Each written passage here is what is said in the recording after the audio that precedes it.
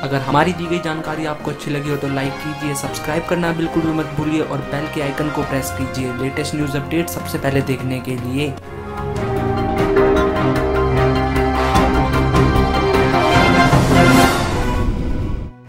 भारत बनाम पाकिस्तान के बीच सुपर चार का दूसरा मैच चल रहा है, जिसमें पाकिस्तान ने टॉस जीतकर पहले बल्लेबाजी का फैसला लिया। इस मैच में पाकिस्तान के 24 रन 8 ओवर में बन चुके थे, जब भारत की नज़र पहले विकेट पर थी। फखर जमान और इमामुल हक ओपनिंग जोड़ी ने पाकिस्तान को धीमी शुरुआत दिलाई। आठवें ओवर में चहल गेंदबाजी करने आए, फिर आखिरी बॉल आरोप हुआ कुछ ऐसा, जिसके बाद दुनिया ने धोनी को किया सलाम। आठवां ओवर युजवेंद्र चहल कर रहे थे। सामने पाकिस्तान के ओपनर इमामुल हक थे। चहल ने उन्हें ओवर की आखिरी गेंद आरोप एल आउट किया, लेकिन यहाँ अंपायर ने नॉट आउट करार दिया। लेकिन टीम इंडिया अनुभवी विकेटकीपर बल्लेबाज महेंद्र सिंह धोनी ने कप्तान रोहित शर्मा को डीआरएस के लिए कहा, जो भारत के पक्ष में गया और इमामुल हक दस रन बनाकर पवेलियन लौट गए। इसके बाद धोनी की सोशल मीडिया पर जमकर तारीफ़ की जा रही है। आपकी क्या राय है? कमेंट करें और लाइक, शेयर और फॉलो करना न भूले।